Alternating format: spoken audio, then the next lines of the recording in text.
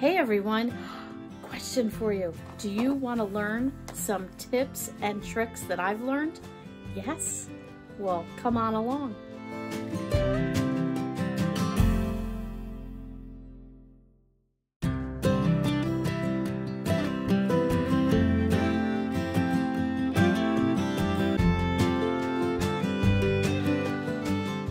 Hello everyone and welcome back to a new video. I'm hoping that you guys are doing well. I have to tell you how much I love chatting with you guys in the comments. I feel like I have made so many best friends. I've never met you guys and um, it's just really cool. You get to see me in my home. I only get to read and connect with you via the comments, but I have so enjoyed Many of you have shared recipes and or just tips. Someone gave me, and I'm I'm so sorry. I'm so bad with remembering. I've read the comment, and usually I'm then often running to work or whatever, and I need to start writing down who told me these tips. But I don't remember. But the tip on the turnip, how to cook turnip in the microwave. You saved my life. I cannot wait. I'll be trying that out on Wednesday and um, I probably will do a video on that. For those that, we call it wax turnip. I know there's another name, but I'll bring you along and show you whether it works or it doesn't work or what worked for me, what didn't work. But thank you so much for that tip. I know somebody else is sharing a meatball recipe with me. Yes, thank you. And I have a few emails I have to read. Colleen, I know you've been sending me pictures of your stockpile Yes, I love it. And Colleen, can I uh, take a, you know, save that photos of your um, stockpile and show our viewers? Would you mind? I don't want to be, you know, um, intruding on anything. But if you want to let me know in the comments or shoot me an email back to say, go ahead and share, your pictures are great. I would love to show people some alternative stockpiles. So um, let me know. That would be great. So I know that's Colleen Jan from New York City. You and I have been connecting in many levels. It's been interesting just meeting people and finding out, you know, things we have in common and and yeah, she knows what I mean. It's been awesome. I love it. So here's some tips that I'm going to share with you guys. So holidays are coming up and lots of things need to happen during the holidays. Okay, so now listen, family of one, family of two, family of three, or more. These tips will help you no matter what. So one of the things that I had been working on is my mushroom powder.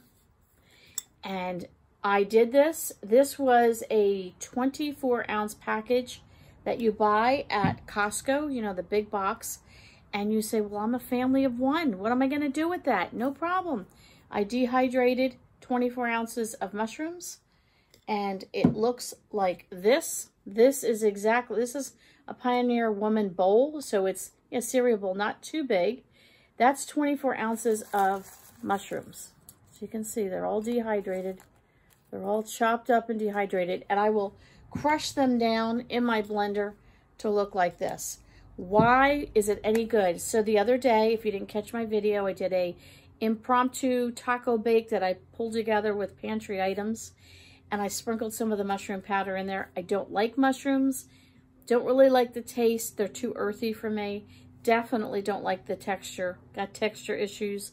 So does my son. But mushrooms are very healthy for you.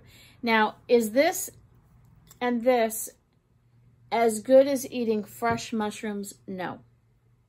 Is this and this better for you than not eating mushrooms at all? Yes.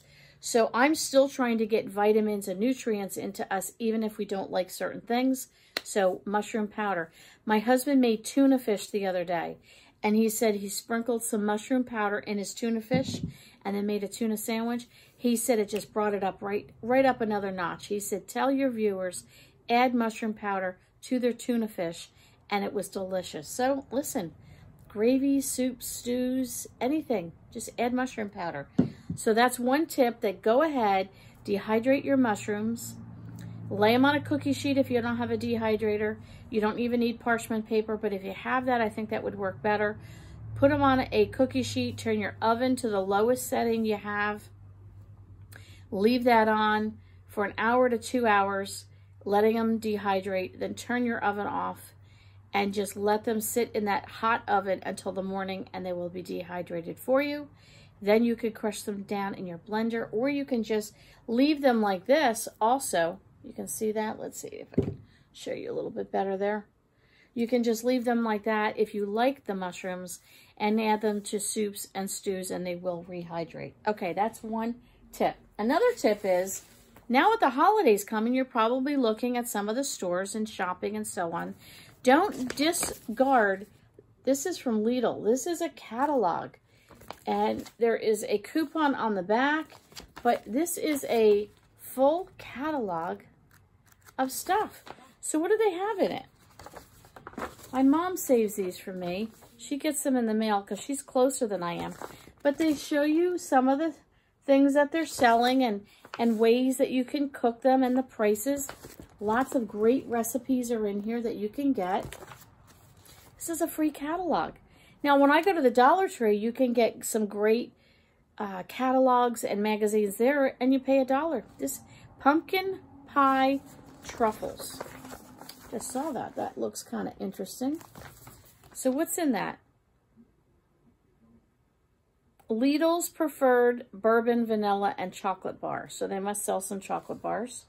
So I'll have to check that out. Ginger snap cookies, cream cheese, sugar, pumpkin pie, spice, cinnamon salt, coconut oil, and some more chocolate. I'll have to try that one. That looks pretty good. But they have all kinds of stuff in here.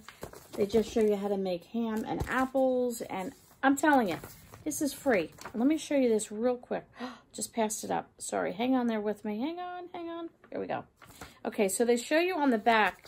They sell cookies like this. Let's see if I can get you. They sell these cookies here at Lidl's, but you can get those in other stores as well. And um, they look like, like little Dutch houses.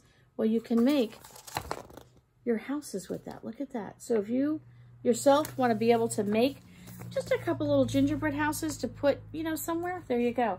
So don't discard that. Okay. You know what this is? This is, you know the bags you get from cereal? Now, when I first got married, they were much thicker and denser. They were much nicer bags. They're gotten a little cheesy these days. But See this bag? I even have a little bit of cereal left in it. What I do is I don't even rinse them because it was food that was already in it. But I will dump them out really good and usually just take a paper towel and sort of shake it, you know, upside down over the garbage can to make sure it's clean. You know what I save these for? And I haven't done it for a long time and I'm getting back into it. Freezer bags. Yes. These cereal bags, someone told me many, many years ago when I first got married, you know, you get your cereal in a box, and most of us, not everybody, but um, whether you dump it out initially into a container, you know, an airtight container and put it in your pantry, or you just keep your cereal in a box, most of us throw these bags out. No, no, no. Save them. So when you, if you don't have like a vacuum sealer, where you take the meat out and you vacuum seal it, and you get like, you know, if you want to do a little bit of stockpiling of meat, you take this or you have vegetable, anything, anything you want to freeze, but you want to have like extra protection from freezer burn, use this. Put your item in here, fold it over however you need to do it. You can use masking tape to close it up. I find the better way to do it would be to roll the item up like so, and then I use rubber bands and you can stick it in the freezer. But these make fantastic freezer bags. Okay, another tip. Got this little light, and this was actually from the Dollar Tree, and it's a work light. You're looking for a stocking stuffer or you're looking for a gift. You can't afford much this Christmas. This would be great for anyone. So I'm going to show you. I'm going to turn it on, but it's super, I don't know if that's even going to show as well as it should on camera, but this thing is so bright, it's hurting my eyes. And then we've got the light right there. So let's see if I can turn that away a little bit. And then it turns off. We're to turn that back on. Let's see if I turn it. Yeah, you're not really seeing too much. But look at my hand. See how much is lighting up my hand? And then we got this one again.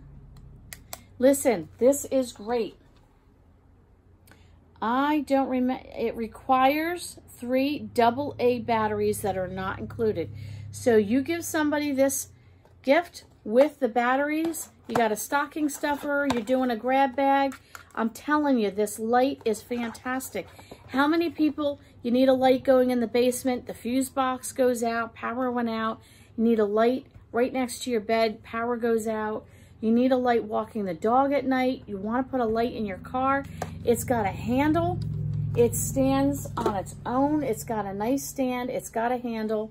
I picked this up for a dollar. I said, I'll try it. I don't even know if it's worth it. I'm going back. I'm picking up several. These are going to make some great stocking stuffers from added gifts.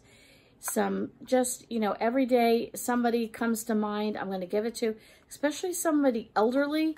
It's a very lightweight, extremely lightweight, perfect just to stick on a shelf, your nightstand, top of the refrigerator, the light. You've got this one, you've got this one. Break down at night, you got to change the tire. You can set this up, you're in good shape. So I just wanted to let you know, I had showed that on one of my Dollar Tree hauls, and we've recently just put the batteries in it, and my husband said, you've got to let them know. Go and snag that at the Dollar Tree. Okay. Another thing, I had a couple people ask me, were these any good? I picked these up at Trader Joe. I know you don't all have a Trader Joe by you, but if you do, I want to say it was like 297 I don't honestly remember. But let me show you how it comes. So this is the package here. And then you get your jelly.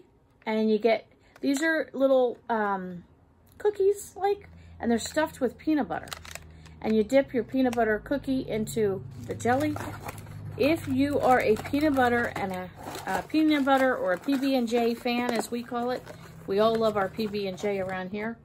I don't know if that's a New Jersey term or other people use PB&J, but these from Trader Joe's are a must. They're fantastic. So expiration date, let me just see, how long would these, these little puppies last? So this is till August of 2022. So that's about, about a year. They'll last on the shelf. Stockpile, you know, power goes out. You can't feed the kids because there's no electric. You can always whip out your PB&Js like this. Not only can you make a peanut butter and jelly sandwich when the power goes out, but when the power is out and you need those things to sort of, even for yourself, a little comfort, a little kind of like something extra, this is something fun. This is great in a backpack. I brought, twice now, I've brought these to work, 2 o'clock in the afternoon that, uh, what was it called? Wake Up Winter Tea that I got at Trader Joe's that I showed on my Trader Joe haul. Brought that to work. Let me tell you, it was so good. The tea is delicious. I brought it in. My coworkers are going crazy. Remember how I kept sniffing the box because the tea smelled so good? All my coworkers keep walking by grabbing the box and they have to sniff. They like it. So I have that in the afternoon with some tea. It's wonderful. The other thing I wanted to share with you, Cracker Barrel pancake mix. I'm sorry for that lighting on there. So we went to a Cracker Barrel up by my sister, and I first time I've ever had their pancakes. They wowed me. I was thrilled. Absolutely, positively, the best pancakes I've ever eaten, Cracker Barrel. And of course, they give you the warm syrup. So we bought a kit, and we got the pancake mix and we got the pancake syrup. I think it was like $12.95 in the kit.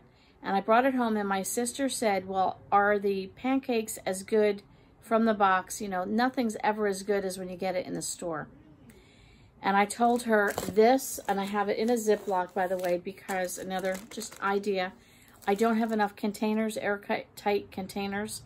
So just put it in a Ziploc to help protect protect it against any little critters, mice, or anything like that. We're about halfway through the box already.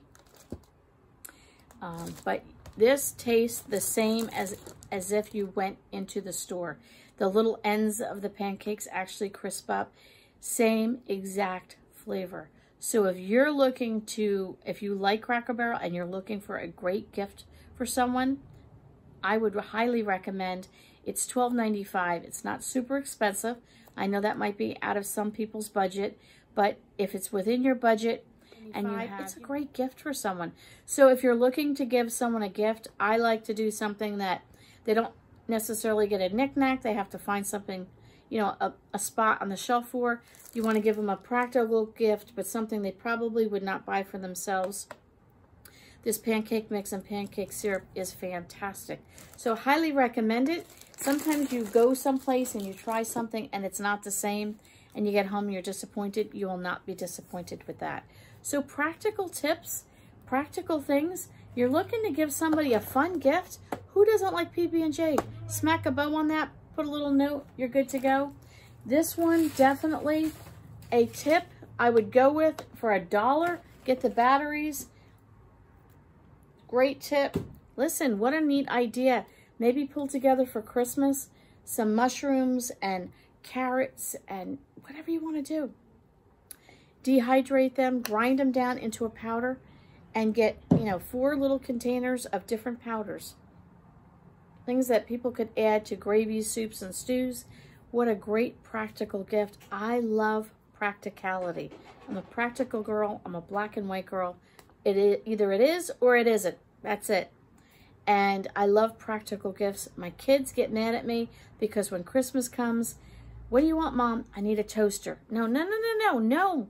My daughter-in-law is like, Mom, you need jewelry. You need pretty. I, I don't know. I, I need a toaster. That's what I want. So I love getting practical gifts. I love getting like, somebody gave me Cracker Barrel pancake mix. I'd be thrilled with that. I know other people aren't. I hope these tips are helpful. Thanks for coming along. I got stockpile stuff coming up this week. I have a problem majorly with my stockpile. I'll have to share that with you on the next video.